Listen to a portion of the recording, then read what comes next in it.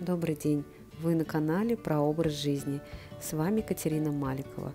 Сегодня я приготовлю классические голубцы и расскажу, как сделать это блюдо еще полезнее. Продукты я подготовила заранее. Отварила капустные листы, смешала два вида фарша, куриный и говяжий, почистила лук и отварила бурый рис. Именно этот бурый рис сделает наше блюдо диетическим. Лук необходимо перебить в пюре с помощью блендера.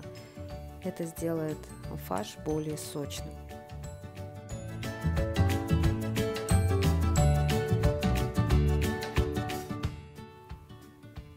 Готовое луковое пюре смешиваем с фаршем.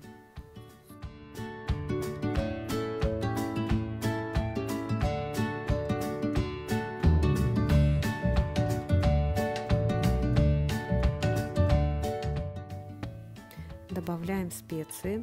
У меня это смесь перцев и соль.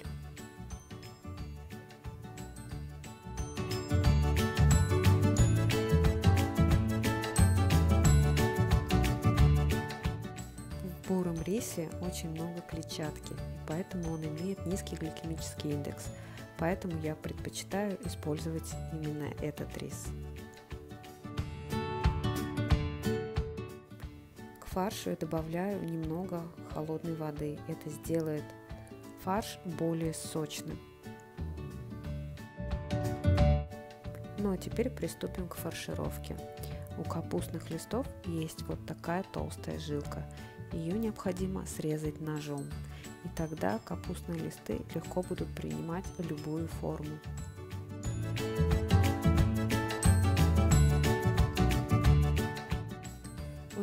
придать голубцам любую форму, но мне больше всего нравится классическая форма в виде конвертиков.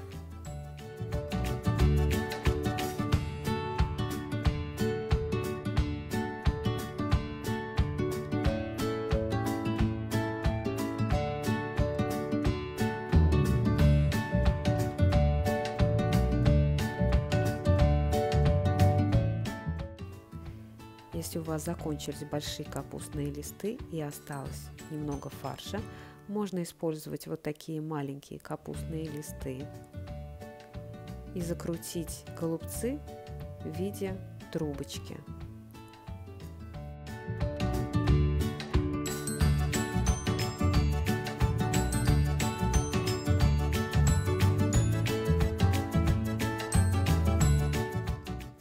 Вот такое количество голубцов получилось.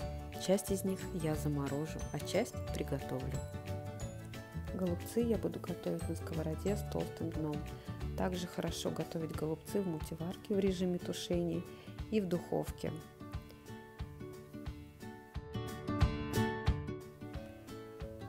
Голубцы должны быть почти полностью покрыты водой.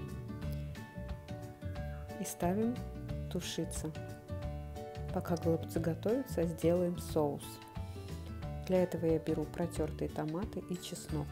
Если у вас нет протертых томатов, можно взять томатную пасту, но для этого ее нужно разбавить водой. Бульон необходимо хорошо посолить и тушить до готовности.